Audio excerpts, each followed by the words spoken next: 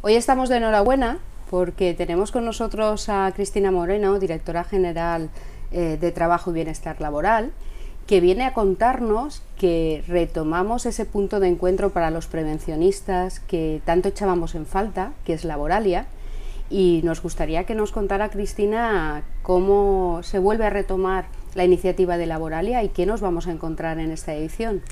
Directora general de Trabajo, Bienestar Laboral y del Inbasad, que a mí me gusta también mucho reivindicarme como directora del Inbasad porque no es para mí un cargo honorífico, sino que que creo que, es además un punto esencial en, la política de trabajo y del bienestar laboral. Pues retomamos Laboralia, eh, Laboralia en su día se dejó de hacer, bueno, pues fruto de la situación económica y fruto también del modelo antiguo de Laboralia. Laboralia fue un gran referente para los prevencionistas, pero también era un, bueno, pues esto que en esta comunidad, por desgracia, hemos vivido de hacer grandes logros y grandes cosas a base de mucho dinero para muchas cosas. Nosotros nos propusimos volver a lo positivo de Laboralia, volver a ser ese punto de encuentro referente no solamente nacional, queremos hacer una referencia internacional,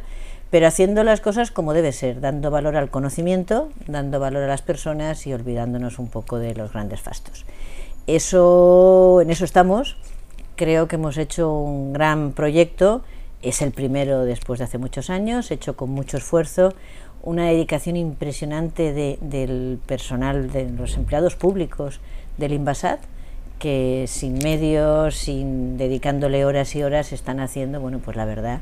yo, yo estoy, estoy que no, que estoy que no quepo del pedazo de programa que se ha hecho, eh, hemos contemplado, yo creo que, creo de verdad que llegamos mm, después de muchos años, pero con un nivel muy alto y estoy convencida que, nos va a dejar a todos buen sabor de boca para repetir, no al año que viene, porque la idea es hacerlo bianual.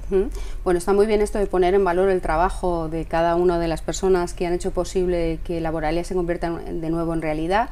Y desde RH Saludable, nuestros eh, lectores eh, están muy interesados en conocer eh, ese protagonismo especial que este año adquieren las organizaciones saludables. Sabemos que dentro del programa se ha hecho un especial énfasis al desarrollo de, organizaciones saludables y también a los temas de innovación. Mm, Cristina, ¿qué vamos a encontrar en estos dos días en el programa y a quienes van a transmitirnos ese conocimiento y ese saber? Pues efectivamente nosotros hemos querido que el inicio del certamen eh, marcara un poco nuestra voluntad y por eso la conferencia inaugural la da Marisa Salanova, que bueno, pues yo creo que una conocida por todos los preocupados en este tema, donde, donde ya nos va a marcar eh, el por qué es necesario y por qué nosotros creemos que, hay que apostar por las organizaciones saludables y, por todo lo que suponen. Yo creo que un gobierno como el de el presidente Chimo Puig, como el actual gobierno que apuesta por las personas, no puede, no puede obviar a un tema que lo que aspira es a cambiar el paradigma de las empresas. Porque al final hablar de organizaciones saludables es hablar de un cambio de paradigma, de un cambio, pues eso, de, liderazgo, como nos va a hablar Marisa en, su primera conferencia. Eh, es apostar porque las empresas de verdad apuesten por las personas. Para mí es fundamental. Eh, y por eso digo, este, este gobierno dijo que era un gobierno para las personas y por tanto también creemos que las empresas serán mejores empresas, ganarán más dinero, venderán más, si además cambian su paradigma y se dedican a pensar en los trabajadores y las trabajadoras que están en ellos. Y, eso son una organización saludable. Y por eso queremos que, obviamente, en la prevención de riesgos hay algo que es básico y, y esa es la parte que tenemos ahí. Mientras siga habiendo un solo accidente laboral, no podemos dar la espalda a lo que es la protección del riesgo laboral de accidente pero ese paso que supone más de, entender las empresas como algo, un conjunto de personas que cuanto más felices son, más producen, eso también creemos que tenemos que ayudar a hacerlo. Y desde luego el uso de las nuevas tecnologías, hemos hecho un apartado especial para todo lo que son las nuevas tecnologías, sobre todo de la información, adaptadas a la prevención. Mm, pues desde la robótica con todo lo que nos lleva de simuladores, hasta las aplicaciones para todo tipo de cosas, para la gestión propia de la prevención, para, eh, para todo tipo de cosas. Creo, eh, repito, que es un programa muy, muy completo en, en, las partes nuevas. O lo que entendemos como riesgos emergentes. Tenemos una jornada que hacemos en colaboración con el Instituto Nacional de Seguridad en el Trabajo, referida a los riesgos y a la prevención laboral en el sector de la nanotecnología. Son, eso es lo que venimos a llamar los riesgos emergentes. Bueno, dicho en chiste, ¿cómo de nano es el residuo de la nanotecnología? Eh, pero conocemos eh, los efectos, eh, son dañinos para aquellas personas que manipulan y que trabajan en esta tecnología, pues esto estamos trabajando también y además el Invasat tiene una línea de investigación que colabora también a nivel europeo y estamos trabajando en eso y vamos a sensibilizar, o queremos, que también se empiece a sensibilizar sobre esos temas en, en Laboralia. Sabemos además que analizado el programa además de esa conferencia de inauguración, eh, va a tener mucho protagonismo el día 29 a través de una serie de conferencias y de talleres el tema de la inteligencia emocional a través de Miguel Ángel Díaz Escoto, eh, talleres donde se hablarán de mediación como forma de gestionar el conflicto dentro de las organizaciones por, parte de Elena Baisauli. Eh, nos ha llamado la atención también ver que vamos a hablar de comunicación en prevención 1.0 y 2.0 con un gran referente como es Eva Collado Durán. Y nos llamaba también positivamente la atención el tener a directores generales que en esos talleres van a contar sus buenas prácticas, como es el caso de Florena Mión de Vigón, de Fernando Gastaldo de Factor o de pequeñas empresas que también nos contarán cómo ellos aplican esto de, de la inteligencia emocional y del liderazgo coach en sus organizaciones. Pero además creo que vamos a contar con AESPLA y creo que AESPLA también va a atraer a sus asociados para contarnos qué están haciendo todas esas buenas prácticas y cómo están impactando todas esas buenas prácticas en, en sus organizaciones, en grandes empresas. Yo creo que cómo ha conseguido todo esto, Cristina, porque eh, aunar toda esta experiencia práctica y todo este conocimiento de, personas que, que, están haciendo ya las cosas y que, y que las están haciendo con un retorno eh, es importante. Porque eh, yo creo que, bueno, pues voluntad, ganas y, buena recepción, las dos cosas. Participa también el Invasat, porque también en, el propio el Invasat también tenemos una parte minoritaria en el sentido de que somos pocos, pero también trabajando sobre el tema. A ver, eh, yo creo que no, no, hay nada inventado, las cosas se están haciendo, pero cuando uno está trabajando en un tema novedoso, Mm, llega a, a, trabajar solo en su casa y pensando que está muy solo. Y cuando empiezas a decir en voz alta, oye, ven y comparte, pues al final somos muchos, ¿no? Y es un poco lo que hemos conseguido que la gente salga de su casa a contar lo que en su propia casa a veces también eh, lo tienen un poco relegado, porque no nos engañemos. Todos sabemos que las empresas van como van, el día a día, y sí, los que tienen más interés van, y van descubriendo además ese efectivo, lo mantienen, pero está en el último lugar, cuando cuentan lo que hacen en la empresa, pues no lo cuentan, ¿no? Salvo que sea el prevencionista que lo cuente. Pero cuando lo empiezas a poner en valor y da cuenta que, oye, es que tu empresa se oye, si habla de esto, pues empieza a gustar. Y, se trata de eso, de poner en valor. Yo, desde que estoy en, en esta edición general y responsable de prevención de riesgos, insisto mucho en que tenemos que hablar de prevención de riesgos los que no somos prevencionistas. y lo repito y lo repito porque a veces eh, y en el sector de prevención de riesgos está muy avanzado y habla mucho y tiene mucho discutido, pero se queda entre los prevencionistas y el éxito y tenemos que conseguir que se hable fuera. Que se hable fuera, que se hable los que no lo somos. sumamos más, Cristina, y creo que... Y de lo que no se habla no existe, eh, entonces tenemos que conseguir. Y entonces hay que visualizar todas esas buenas prácticas, yo creo que ha sido un éxito eh, pues el conseguir este programa tan, tan nutrido y de tanta calidad, pero también un éxito que a falta de algo más de una semana para celebrarse Laboralia, eh, tengan ya mil, mil personas interesadas, mil profesionales interesadas en, asistir y lo que nos queda, ¿no? Bueno, la teníamos más de mil la semana pasada, ahora mismo me tengo que confirmar cuántas tenemos porque el dato lo tengo sería, de, viernes ¿pueden todavía inscribirse? Porque además es un evento eh, gratuito No, no, claro, pueden no, yo espero que se inscriban, que, porque mil son muchísimos, pero hay tanto, hay tanto evento paralelo que correríamos el peligro incluso de que, de que haya algún evento que, eh, que, que no, que, que se quede más vacío de asistencia que que nadie piense que porque hay mil está lleno.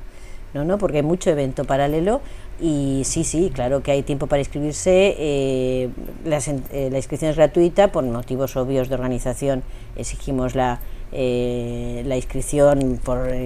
informáticamente para poder el acceso, pero es gratuita y se puede hacer hasta el mismo día Entonces estamos a tiempo en la página web de invito, invito a todos invito a todos aquellos que nos están viendo a que se lo piensen porque es que el programa es muy muy diverso porque hemos hablado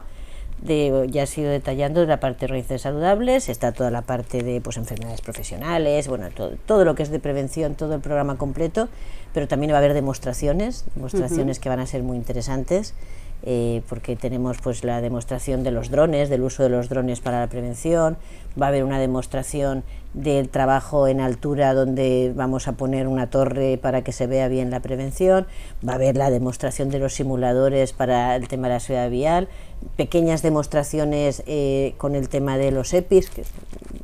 nadie se va a aburrir bueno, y eh, los dos días de laboral. Y aquellos que no pueden asistir, lo que nos preguntan insistentemente y viendo un poco el cambio de, de iniciativa en la comunicación de, en este momento del Invasat, que, que está muy 2.0, lo que nos están preguntando es, ¿vamos a poderlo seguir eh, en, en, directo o en diferido online? ¿Va a haber esta posibilidad, Cristina? Bueno, eh, como también hay un problema de fondos, que ya sabemos que los presupuestos los tenemos limitados, pero sí que va a haber mm, dos posibilidades. El seguir en directo, vamos a, se va a poder seguir en directo vía streaming la jornada referida a los nanomateriales. la prevención de, de, nanomateriales, esa sí que se va a poder seguir en streaming. Esa es el día 29 a las 10 de la mañana, 9 y media, 10 de la mañana. Eh, empieza. Eh, en el resto de las jornadas lo que vamos a hacer es mm, grabar, eh, va a haber dos equipos de producción, uno que en un stand fijo irá grabando entrevistas a ponentes, a expositores, para eh, distintas entrevistas que se irán después colgando en la web. Y otro que lo que grabará será otro que será el, que se moverá por Feria Valencia y grabará lo que son, serán las demostraciones. Entonces, la ponencia completa no la podremos grabar más que en el caso, no la podrán conocer más que en el caso de, de la jornada de nanomateriales, pero sí el resumen por parte de los ponentes por medio de esas entre, pequeñas entrevistas que se harán. Por tanto, tendremos el canal de YouTube abierto eh, a posteriori con toda esa información de interés. Y además para nuestros tuiteros, seguro que en esos días nos indican qué hashtag o qué etiqueta seguir desde Laboralia para poder seguir en directo eh, las intervenciones que hagan a través de otros tuiteros, porque esto sí, sí, claro, estamos con el hashtag ya, el hashtag genérico es el del genérico de Laboralia, es el Laboralia 2016 eh, después ya cuando iremos haciendo las jornadas, por ejemplo está enano para poder acceder al streaming, ya iremos comunicando eh, cuál es la forma. Y Cristina, nos, nos decías al principio de la entrevista que reivindicabas tu labor eh, en el Invasat. Entonces nos gustaría conocer, aprovechando que te tenemos hoy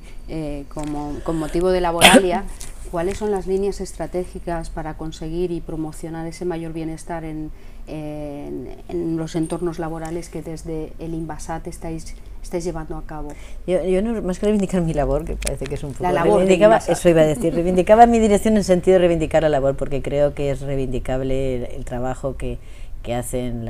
todas las personas que están, que están allí. Eh, efectivamente, le estamos dando un vuelco al Invasat porque queremos, yo decía antes que yo estoy muy obsesionada en que se hable mucho de prevención, que la sensibilización de la prevención llegue a toda la población, al máximo de población y no solo a los prevencionistas. Y en, ese sentido lo que estamos es volcándolo hacia, por un lado, lo que es la formación.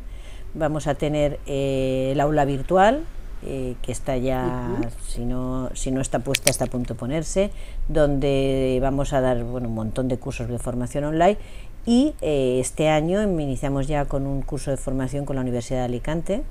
que va a dar a créditos, dirigido precisamente no a los prevencionistas, sino pues a aquellos estudiantes de Derecho, de Económicas, de ADE, eh, que eh, a lo mejor no tienen ningún contacto con la prevención de riesgos hasta que llegan a las empresas y tampoco saben ni lo que es. queremos que sepan lo que es, porque si van a ser responsables después de sus empresas, muchos de ellos, queremos que sepan mm, lo que es la prevención de riesgos, aunque sea a un nivel básico. Y eso tendrá puntos universitarios. Además, también hemos organizado, y este año va a ser el primero, donde vamos a dar eh, premios al trabajo fin de máster, al mejor trabajo fin de máster de prevención de riesgos laborales. Queremos premiar el conocimiento, queremos que la gente de verdad, y en este caso sí los prevencionistas, investiguen y, se esfuercen. Y este año daremos el primer, el, primer premio, a la primera secuencia de los premios a los mejores trabajos fin de máster en prevención de riesgos laborales, que ya se han presentado, que además estamos muy contentos porque realmente pues supongo que en años posteriores mm, habrá todavía más, pero aún así, siendo el primer año, se han presentado un número importante de, de chicos y chicas que habían hecho su máster y, esa es la senda, la sensibilización y la difusión. Y orgullosa del Invasat y, insisto, y eso quiero reivindicarlo, de los hombres y las mujeres que lo forman, que con serios problemas, la comunidad valenciana, como creo que todo el mundo sabe, tiene serios problemas e-, presupuestarios y económicos, el Invasat no ha sido un instituto al que históricamente se le hubiera tenido cariño y cuidado. Los anteriores gobiernos no le habían dotado presupuestariamente como correspondía. Tiene serios problemas de, problemas de falta de personal, pero los que están allí, la verdad es que le dedican el 150% de su bueno, Damos fe como prevencionista que, que los compañeros y los profesionales del INVASAT siempre han ayudado a los prevencionistas a hacer prevención en las organizaciones pueden tener más o menos recursos, pero siempre han tenido una actitud muy proactiva hacia, hacia el bienestar en los entornos laborales. Felicitaros, eh, Cristina, por todas estas iniciativas, por haber logrado que Laboralia vuelva por fin. Y desde RH Saludable seguiremos el evento, seguiremos a los ponentes y aquellas acciones y aquellas empresas que nos parezcan de interés para seguir promocionando esos entornos